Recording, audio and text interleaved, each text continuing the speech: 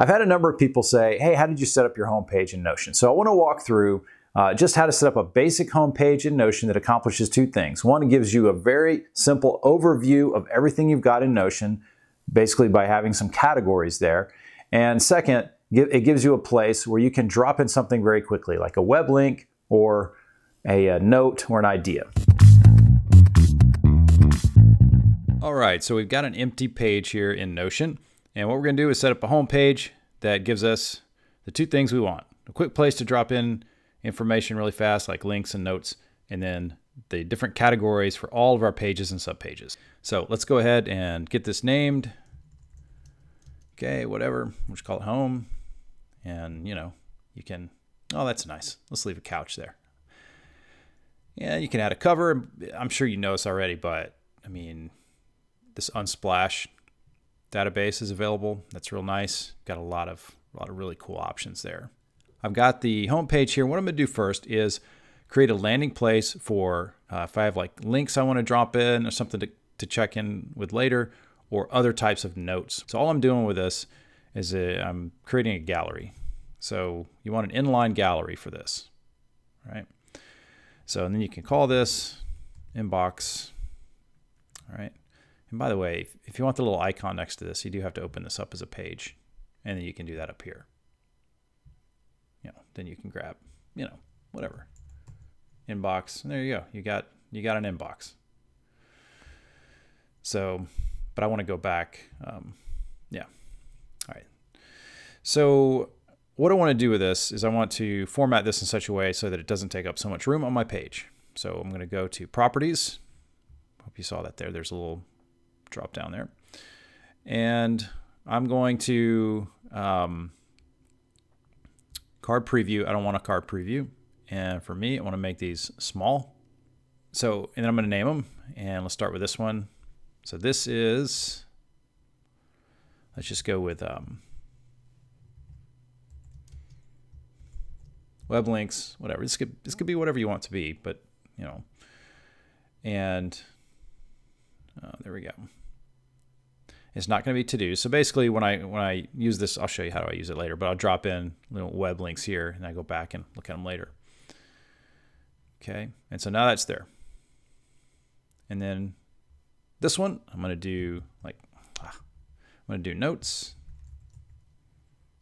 ideas. These are just like quick ideas. Just throw them in here. And sure, let's just leave that. And you know, you can still do a cover and all of that, whatever. I can do that here. All right, so we're good with that. And go back. There we go.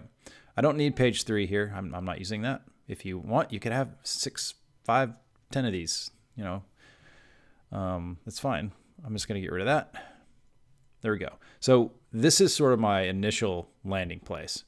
And like on mine, I actually did a quote. So, you know, I have like a David Whyte quote here. Great quote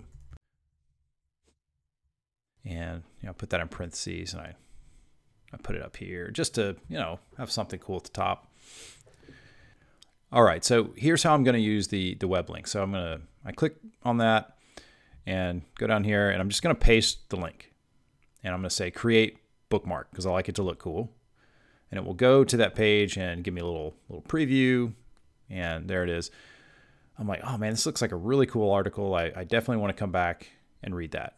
And you know, you can continue to do that. You have another web link, you could drop it in there.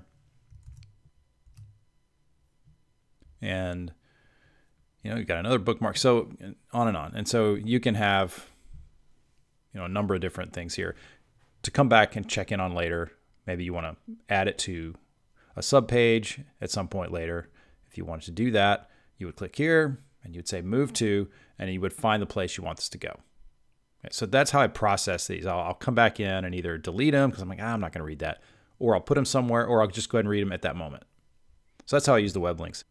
All right, so notes and ideas, real similar. I mean, I think you know this doesn't require a whole lot of explanation. I just come in here, and the way I do it is I'm going to do slash and then page, and you know, um,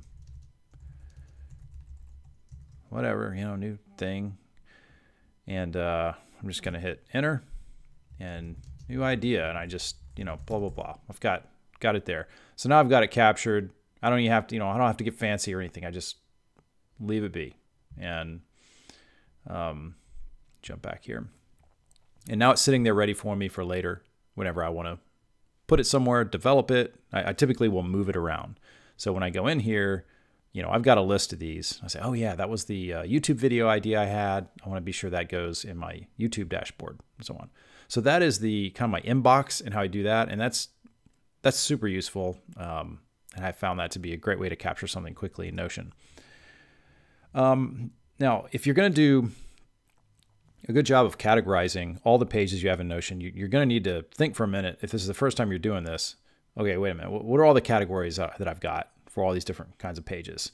And I know when, when I was using Evernote for this, you know, I had a lot of different notebooks and, you know, I probably could have done a, a really great job of categorizing had I been able to do more like sub pages and stuff. And that, that's what I really like about Notion is, you know, this is allowing me to kind of branch out all these categories. So I've got basically right now, I've got four categories. So I'm going to type these out real quick personal, finances, reading list, projects, and enjoyments.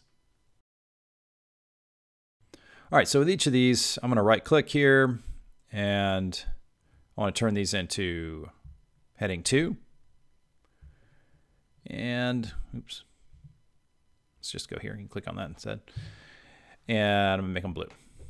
All right, so now I've got all five categories. And now these this is gonna have a list of pages, which will have subpages underneath them. And so the way, you know, I, you can just organize these the way you want. Um, I'm gonna move projects to here and all the way over. There we go. And then underneath, you know, I've got um, pages for different things like, you know, health log and so on. And I won't try to go into all formatting all that. And it goes on and on. And so each of these pages under here, you've got all kinds of things.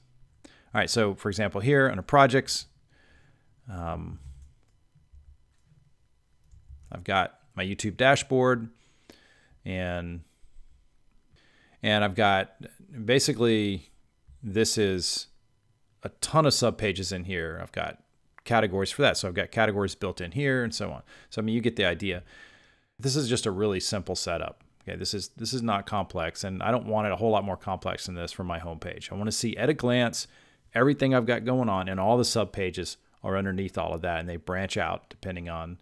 Eh, eh, it, there's the number of pages is related to the complexity of the project or the thing and, and, you know how many layers they are. But I don't have to see all that right here. On my home page, I just want to see the basic high level categories and then the pages. I say I like to have the individual pages listed out all the way down.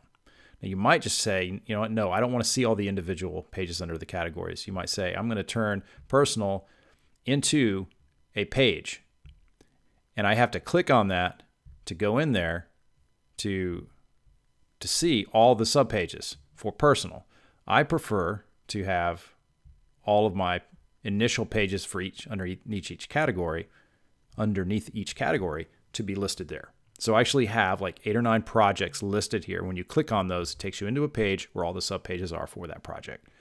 Um, so it just depends on how clean you want the homepage to be. So there's a, there's a lot of options there. I turned that into a page. We can undo that, but um, there we go. So, so there's your options. Be sure that when you do a new page, I just got to call this out, like, you know, use the, the templates at times. Like there's really great templates. Notion has a ton of amazing templates. And, um, you know, I'll put a couple links, some helpful links to uh, what Notion provides as well uh, out there. But I mean, God, this is, you don't have to go and design your own pages. I mean, there's, there's tons of, tons of stuff in here uh, for whatever you're doing. So, you know, use it. And what's great is once you establish that, okay, I am using this template, once you do that, you can go in and mess with it, you know, and, you know, add a view and, you know, all kinds of stuff. So be sure that you uh, use the templates that Notion has provided. It's a really great resource. All right, so fast forward in time here, I threw together a uh, a bunch of pages, you know, fake pages, just to show you what this would look like all laid out like this. So remember, you've got two options. You can use it this way, where all of the pages are showing underneath the categories, or just turn each of those headers, those category titles, into a page link where you can have all those subpages listed on a page. That simplifies the homepage if you want to do it that way. So you got tons of options there. If you enjoyed this video, click like. And if you want to see more, click that subscribe button. And if you've got questions or comments, put them down in the comments below. I love to engage with uh, people about these kinds of things. And we'll see you in the next video.